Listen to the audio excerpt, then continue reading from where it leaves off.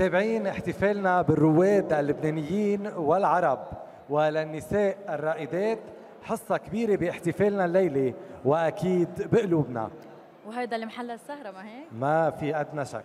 على كل حال الإعلامي منير الحافي وملكة جمال لبنان السابقة رهف عبد الله رح يعطونا كل التفاصيل.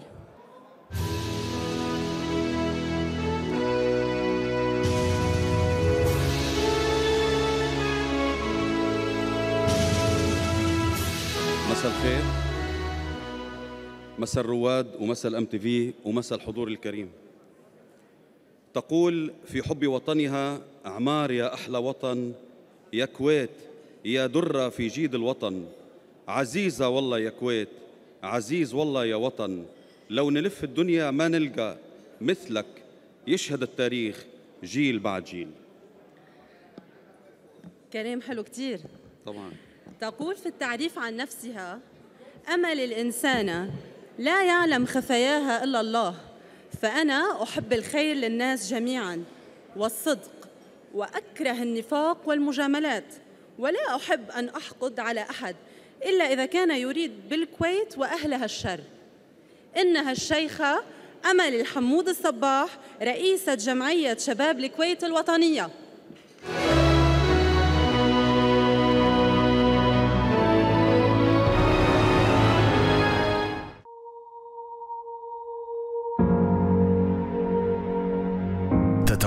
رئاسة جمعية شباب الكويت الوطنية. وتعتبر أن رعاية الشباب شغلها الشاغل. وترى أنهم مفعمون بالطاقة الخلاقة. وتؤكد أن المشاريع الصغيرة خطوة فاعلة لاستثمار إبداعات الشباب. وأنهم مؤهلون للتسلم دفة القيادة. والمرأة الكويتية بنظرها مثال رائع للعصرية. هي العاشقة الكبيرة لوطنها ولأهلها الكويتيين. فكان قرارها بالعمل وبكل طاقتها من أجل شباب الكويت. إنها الشيخة أمل الحمود الصباح رئيسة جمعية شباب الكويت الوطنية.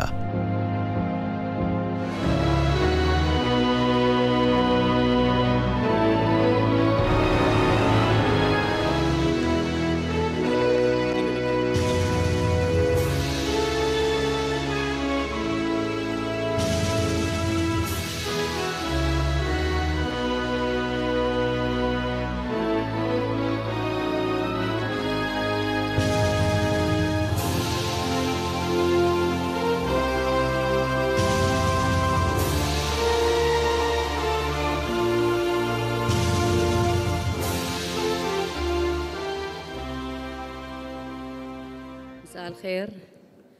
آه، طبعا أشكر آه، مجموعة آه، الرواد والمهرجان والقائمين على هالأعمال الخيرية الزينة. آه، ونشكر الأخت ال- ماريا معلوم وأشكركم على تكريمي طبعا وإن شاء الله بالتوفيق موفقين جميعا. يسلم. ألف مبروك. ألف مبروك. نحن متابعين احتفاليتنا الليلة والصوت من تونس الخضراء. من أرض قرطاج. صوت في عنفوان على قد ما في حب وفي إحساس بيصيب القلب بأسلوب مباشر. سيدة الأعمال الكويتية بسمة سلطان والمسؤول بالقسم الفني بصحيفة إلاف السعودية وعضو لجنة مهرجان الرواد سعيد حريري بتولوا تكريم نجمتنا.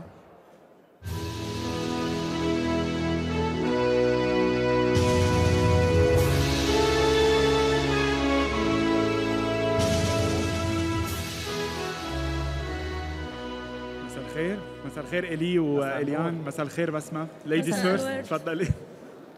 قال لها الموسيقار محمد عبد الوهاب بعد أن التقاها وسمع صوتها بالكويتي بخري صوتك وهي تصف لقائها به باللحظة التاريخية التي لم تكن تتوقعها على الإطلاق. وأضافت أن اللقاء هذا أعطاها دافعا معنويا في مشوارها الغنائي. بس ما أنا بدي أحييك وبدي أقول لك الكلام اللي قلتيه عن نجمتنا لليوم صحيح كتير وبعد كلام كتير بينقال عنا. بدي أقول مساء الخير لجميع الحضور مساء الخير ل MTV مساء الخير لماريا معلوف اللي آمنت دائما بلبنان وإيمانها وثيق بهيدا البلد. وثقة كتير كبيرة لها لأنه مآمنة أنه لبنان بعده قادر يعطي نور بعده قادر يعطي حضارة وسط كل هالظروف اللي موجودة. وشكرا لكل الوفود العربية الأوروبية والأمريكية اللي موجودة معنا لتثبت أنه لبنان دايما بلد الحضارة. ول MTV هالشاشة اللي دايما عم توثق بمهرجان الرواد وعم تنقل هالصورة الحلوة. أما عن نجمتنا لليلة يا بسمة فأنا ما رح أحكي لا عن أعمالها ولا رح أحكي عن إنجازاتها. أنا بدي أقول كلمة صغيرة عيد. بدك شيء كيف لبنان؟ وكل أصدقائي كل يوم كانت تدق لي وتقول لي كيفك يا سعيد؟ بدك شيء كيف لبنان؟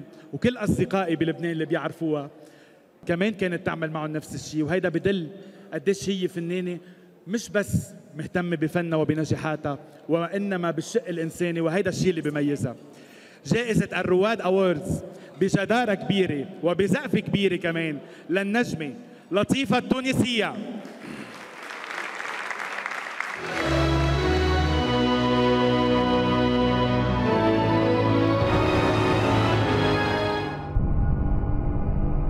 في رصيدها عشرات الألبومات الغنائية تضم مختلف الألوان الغنائية واللهجات العربية. تعاملت مع أكبر الأسماء في مجال التلحين والكلمات. في العام 1978 شاركت في تونس ضمن برنامج نادي المواهب. كانت من أوائل الفنانين العرب الذين صوروا أغنياتهم على طريقة السينما كليب وأيضا بكاميرا المخرج الكبير عاطف سالم. لها تجربة سينمائية وحيدة هي فيلم سكوت حنصور في العام 2001 مع المخرج العالمي يوسف شاهين.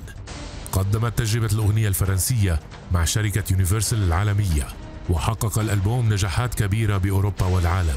شاركت الفنان ريكي مارتن في مؤتمر أطفال العرب في الأردن عام 2004 وفي العام 2005 كانت بطلة لمسرحية حكم الرعيان الغنائية من تأليف منصور الرحباني. أسست عام 2005 مؤسسة لطيفة الخيرية لتكون أول مؤسسة خيرية لفنانة عربية تخصص لدعم أعمال الخير بالوطن العربي. وفي عام 2007 ظهرت بشخصيتها الحقيقية في الحلقة السابعة من مسلسل لحظات حرجة الذي حقق نجاحا كبيرا كما تعاونت مع الفنان زياد رحباني من خلال ألبوم معلومات أكيدة عام 2007 توزيع روتانا. في عام 2011 قدمت برنامج يلا نغني الذي عرض على قناة MBC واحد وهو برنامج غنائي يستضيف في كل حلقة نجما غنائيا من العالم العربي. هي باختصار المطربة التونسية صاحبة الصوت الذي يعزف على أوتار القلب. لطيفة التونسية.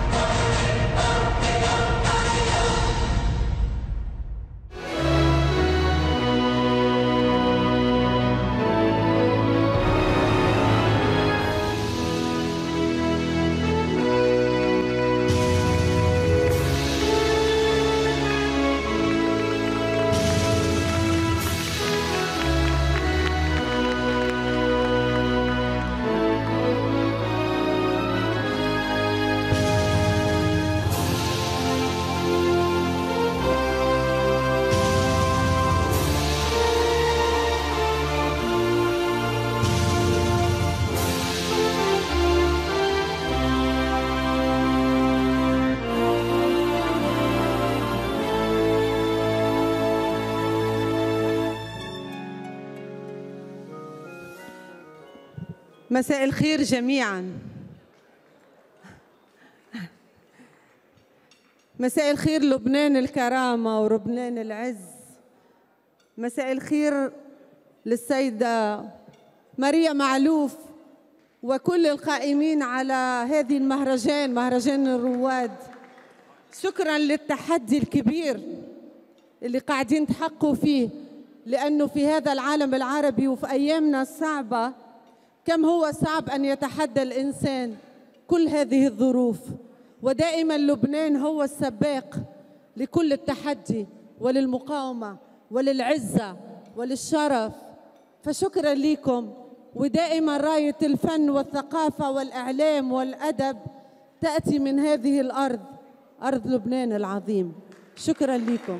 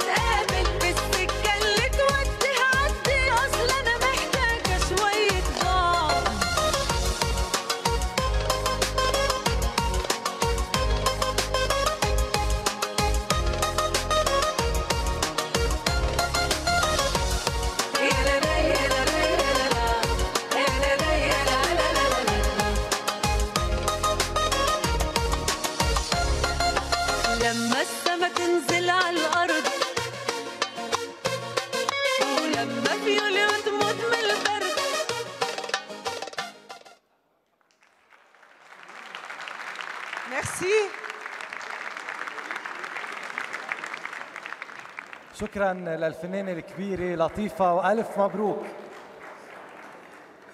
لبنان مستشفى الشرق الأوسط وأطباؤه أكيد رواد ومميزين ودايما بالصدارة. رجل الأعمال أسعد السقال وخبيرة التجميل ليلى عبيد بخبرونا أكثر عن الطبيب اللبناني اللامع اللي رح يتكرم معنا الليلة.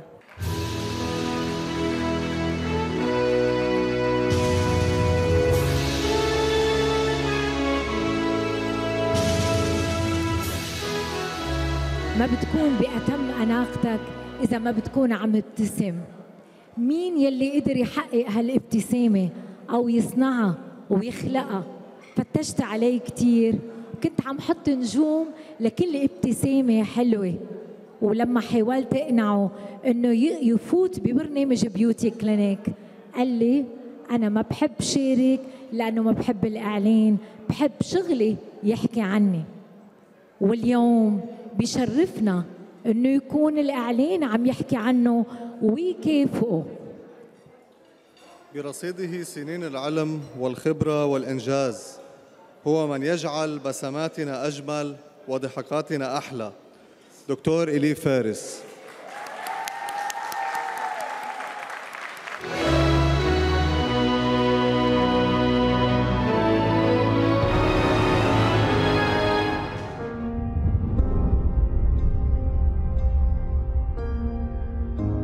في مجال تجميل الأسنان في لبنان منذ أكثر من عشرين سنة.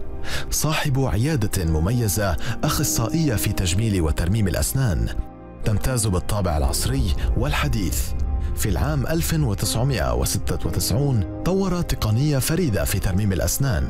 كومبوزيت استطاع من خلالها أن يضمن لمرضاه الحفاظ على أسنانهم الطبيعية مدى الحياة.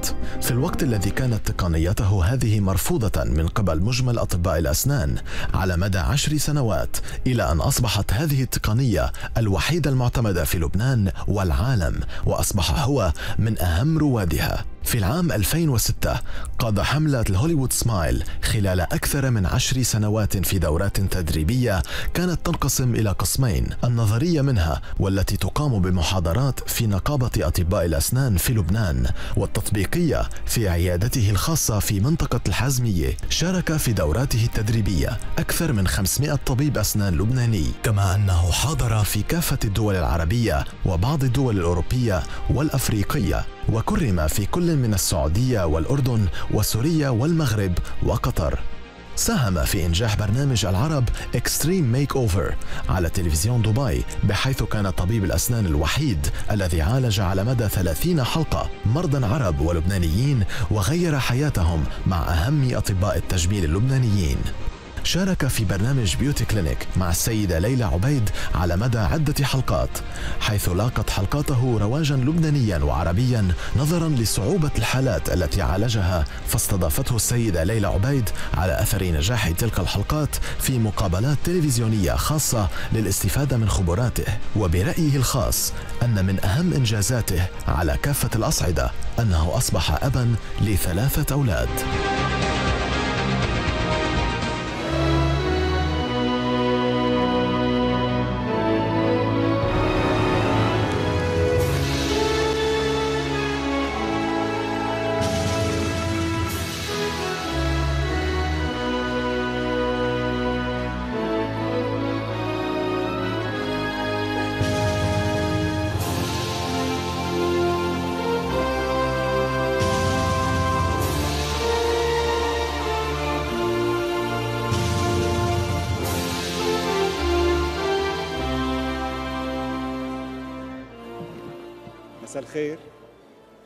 thank you ماريا thank you الرواد على تكريمكم اسمحوا لي بوقت كتير قصير اختصر حياتي المهنية خلال آخر 20 سنة.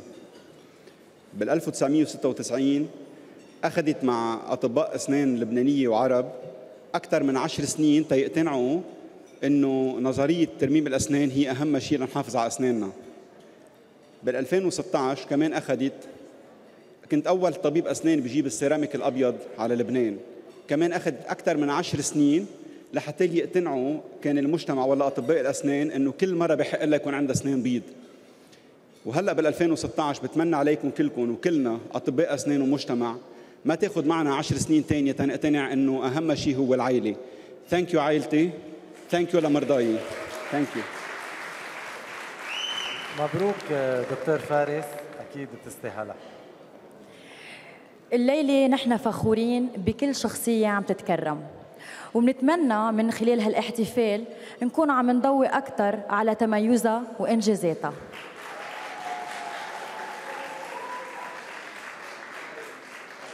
صار الوقت إنه نستقبل الإعلامي الكبير الأستاذ كميل منسى والإعلامية ماريا معلوف اللي رح يتولوا تكريم رائد من رواد العرب بعالم الأعمال.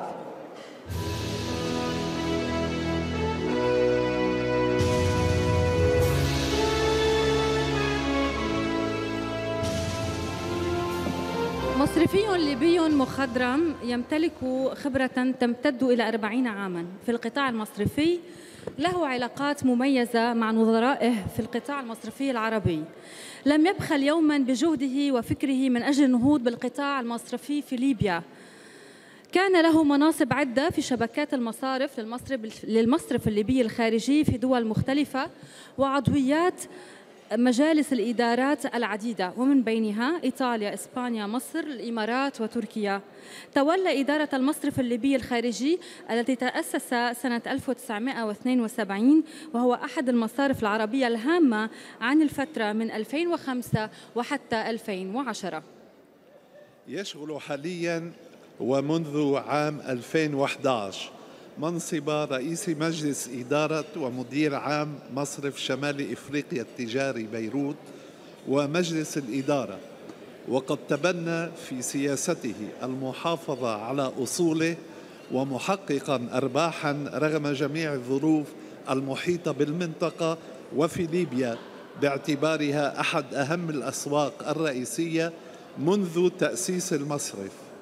كان يسعى منذ توليه منصب مدير عام المصرف الليبي الخارجي عام 2005 لاستكمال استراتيجية زملائه السابقين. وفمارس فضلا لذلك نشاطاته برعاية أساتذة ليبيين معروفين في الأوساط المصرفية العربية من ذوي الخبرات العالية في المجلس المصرفي لتحقيق طموح هو تكتل المؤسسات المصرفية العربية وخلق مؤسسة عربية عملاقة تحقق التواجد والمنافسة في السوق المالي الدولي وهو اليوم يواصل مساعيه من مركزه الحالي للوصول إلى هدف التكتل مع أحد المصارف اللبنانية أو أحد المصارف الشقيقة أو الصديقة. إنه المصرفي الكبير محمد نجيب الجمل.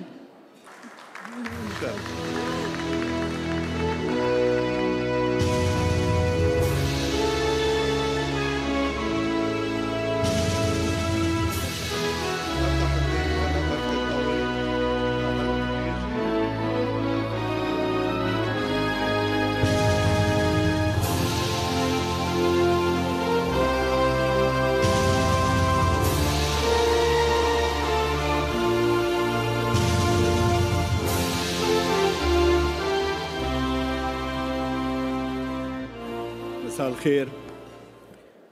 شكرا لمنظمي الحفل.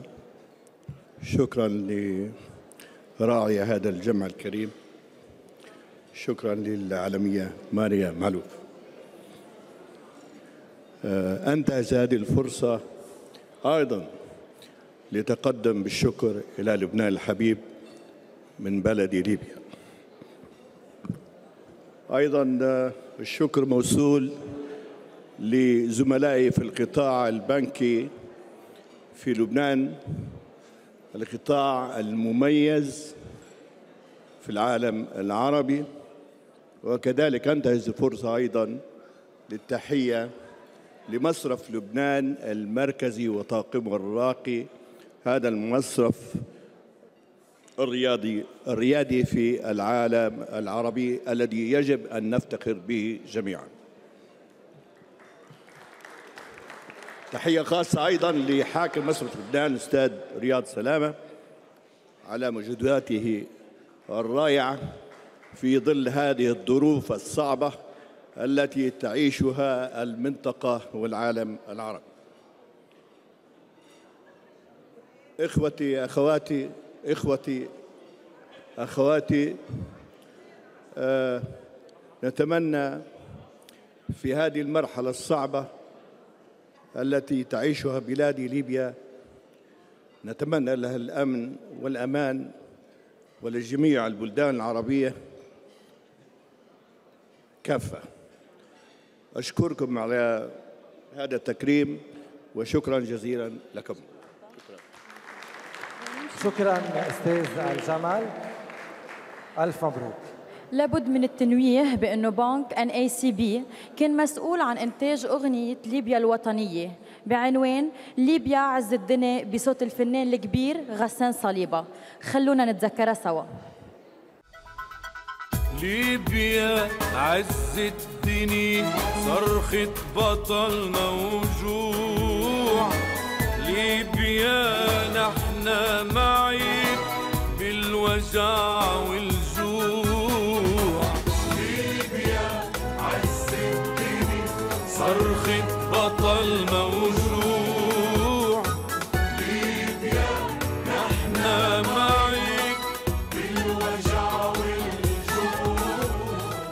الحفل مستمر ولائحة المكرمين بعدها طويلة.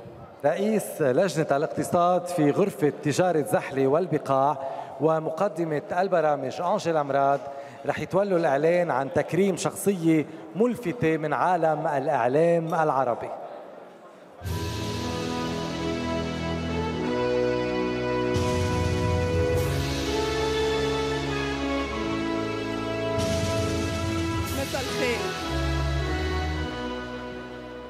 دولة الإمارات العربية المتحدة كاتب وإعلامي وصحفي. تميز ميزاته هو المثير للجدل في حضوره الفعلي وفي العالم الافتراضي. خارج التصنيف دائما بعيدا عن التعريف. الإعلامي الإماراتي حمد المزروعي مساء الخير. من يتابع سيرته الكتابية في الصحافة أو في مواقع التواصل الاجتماعي يكتشف بلا لبس إخلاصه الجياش لوطنه مهما كانت المخاطر والتداعيات. فأعداء الإمارات هم أعداؤه. ولو كانوا أقرب الأصدقاء وأصدقاء الإمارات هم أصدقاؤه مهما كانت الاختلافات. المتميز الشغوف بالحق. المثير للجدل في حضوره الفعلي وفي العالم الافتراضي الإعلامي الإماراتي حمد المزروعي.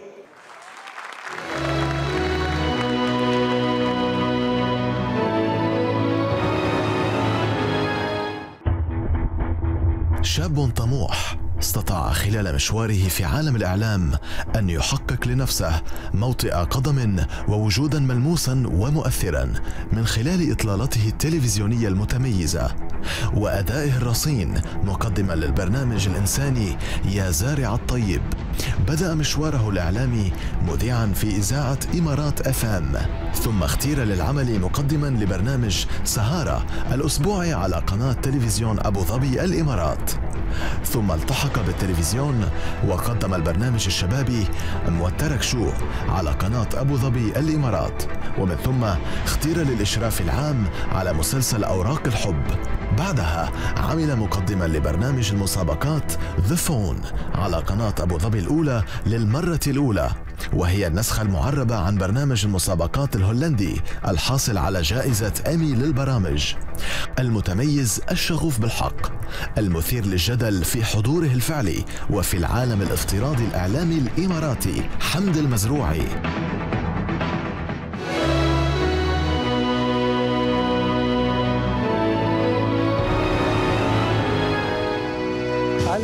مبروك للأستاذ حمد المزروعي وبيستلم الجائزة عنه المستشار الاقتصادي في سفارة دولة الإمارات هيثم الطبش.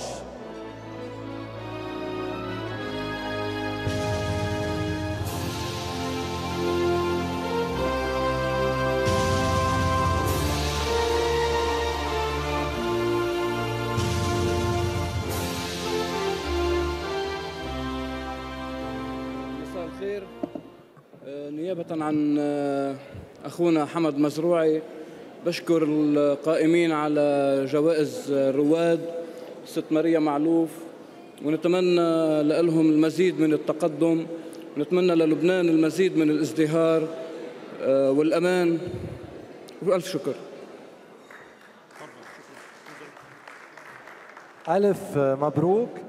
ونحن متابعين احتفالنا بالرواد الليلة والمكرمون من مختلف المجالات والقطاعات ومن الإعلام بننتقل إلى الصحافة المكتوبة. مقدمة البرامج رين سبتة والصحافة بجريدة الرواد خليل القاضي بكرموا زميل بمهنة المتاعب أكيد بيفتخروا فيه.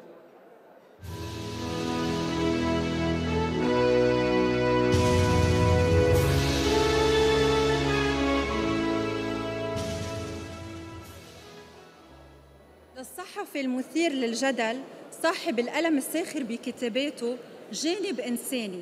فهو المسؤول عن صفحة شبه أسبوعية بجريدة الوطن تهتم بمساعدة المحتاجين بحيث بيقوم بإيصال طلباتهم للأشخاص المعنيين أو الجهات المسؤولة.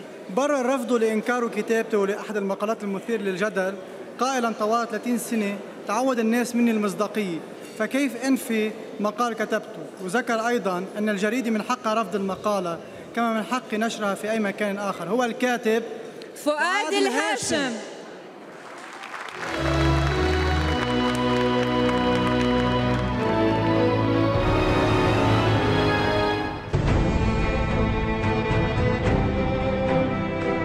كاتب كويتي يعتبر من أشهر الكتاب في الكويت والوطن العربي. وهو كاتب عمود علامة تعجب في جريدة الوطن الكويتية ويعتبر من أكثر الصحفيين العرب إثارة للجدل.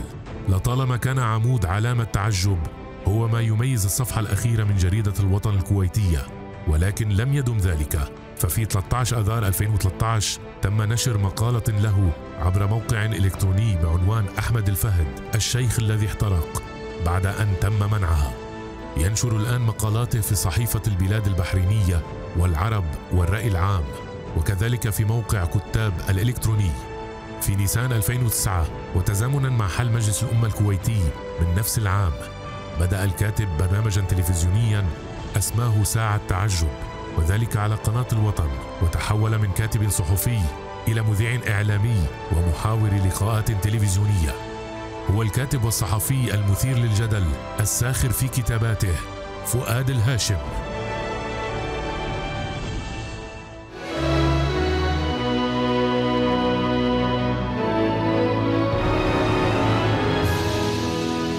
تستلم عنه الجائزة مديرة مكتبه السيدة شيخة أحمدي.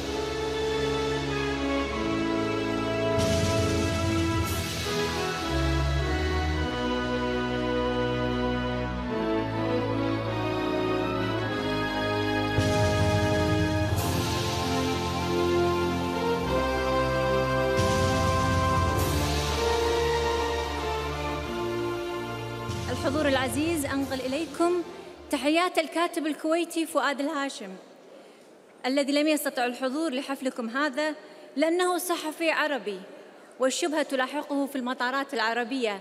هذه هي هموم زملاء الصحافة. من الكويت إلى بيروت ننقل لكم تحياتنا جميعا. شكرا لكم. شكرا لك وألف مبروك. متابعين بهالأمسية المميزة من قلب بيروت والشخصية المكرمة من أرض العراق يلي ما تعبت تضج بالموسيقيين والفنون ولا تعبت تلهم أبنائها وتكون مصدر إبداعهم وركيزة نجاحهم. بترك سعادة السفير اليمني علي الديلمي ومدير التحرير مجلة الحسناء ريتا منصور يعلنوا عن اسم الفنان العراقي المكرم.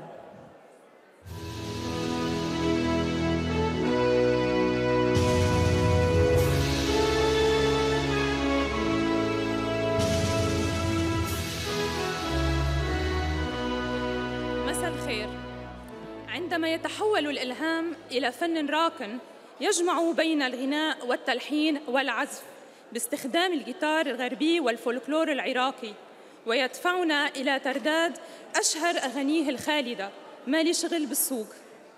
عندما يكون الإنسان حاضرا للمشاركة ويطلب منه التكريم فإنه يزداد فرحا لمشاركته في إرسال رسالة البهجة والفرح خصوصا وأنها فرح في ظل أوضاع نعيشها أوضاع حزينة وأوضاع مآسي. ولكن يجب أن تكون رسالتنا رسالة فرح ورسالة تكريم. إنه المبدع الفنان إلهام المدفعي.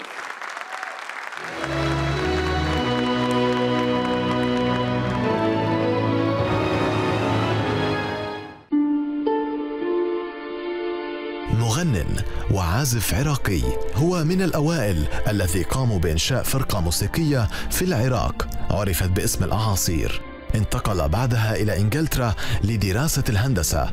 لعب هناك مع فرقة موسيقية في البيت البغدادي في لندن وعاد إلى بغداد عام 1967 وقام بتشكيل فرقته الموسيقية حيث كان يدمج بين عزف الجيتار الغربي والأغنية الفولكلورية العراقية. إنه الخطار الآتي بالفرح والحب من الرصافة والكرخ حاملا آلام التهجير القسري والنفي من العراق. إنه بكل بساطة إلهام المدفعي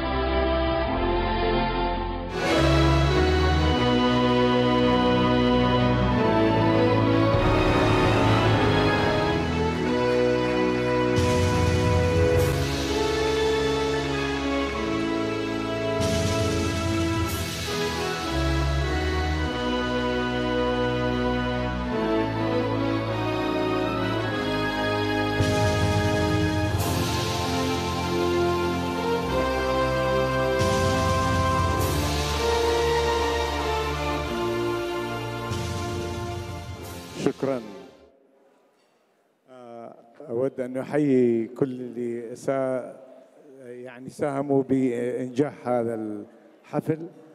وأود أن أشكر على هذه الجائزة القيمة. واللي كانت هي فعلا تتويج إلى مسيرة طويلة. فأحيي كل اللي ساهموا في هذه المسيرة من موجودين واللي غابوا عنا. وألف تحية إلى لبنان. البلد اللي كرمني. شكرا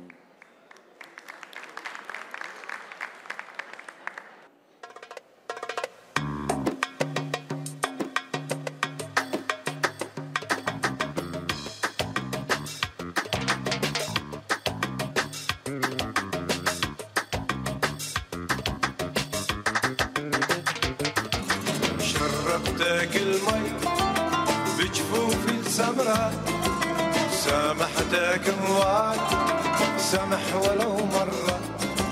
شربتك المي بجفوفي السمراء سامحتك هواي سمح ولو مرة.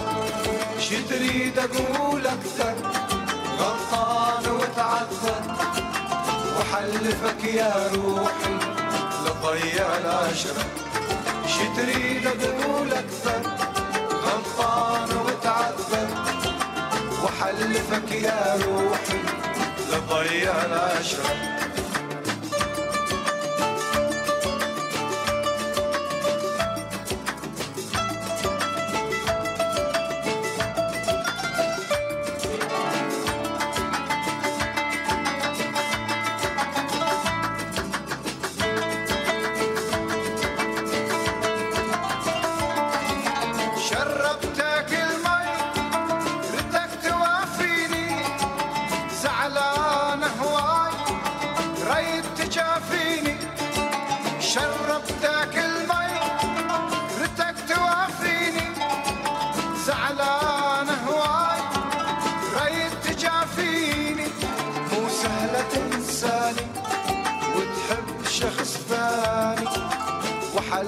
وحلفك يا روحي لضيع العشرة. مو سهلة تنساني وتحب شخص ثاني. وحلفك يا روحي لضيع العشرة. شربتك المي بجفوف السمرة. سامحتك هواي سمح ولو مرة. شربتك المي السمرة سامحتك هواي سمح ولو مرة.